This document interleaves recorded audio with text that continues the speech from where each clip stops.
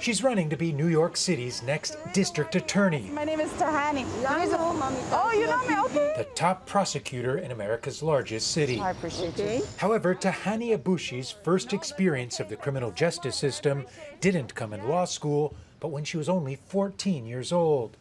That's when her father was sentenced to 22 years in prison for selling untaxed cigarettes in the family convenience store in Brooklyn. My priorities are addressing the racism against communities of color, holding the police accountable, and stop letting people who are powerful and privileged get away with things. You Aboushi is pledging to fix a criminal justice system she calls racist. Police brutality is a big problem for communities of color, and we have to understand that police officers have a lot of power to not only infringe on our constitutional rights, but to restrict our freedom and then present us to the prosecution system.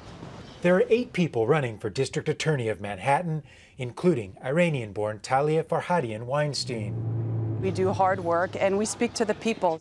But with no experience as a prosecutor, Aboushi, a child of Palestinian immigrants, was once a long shot to win the race. We're with Tahanie because she's with us. But after some high profile endorsements, her prospects have risen significantly.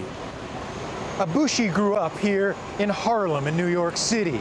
She has a real authentic connection to people, and it was obvious to see when she was out campaigning.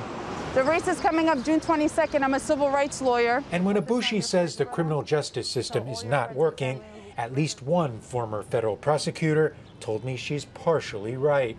The guiding goals of the criminal justice system generally are sound, but the way things have been implemented have drastically hurt people of color, people who don't have a lot of money, who don't have a lot of power.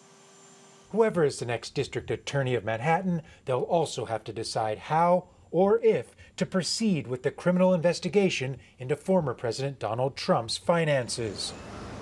For now, that is something Aboushi doesn't want to comment on. Do on. you vote here in Manhattan? Yeah. She's focused on criminal justice reform and holding police, rather than presidents, accountable. Thank you. Gabriel Elizondo, Al Jazeera, New York.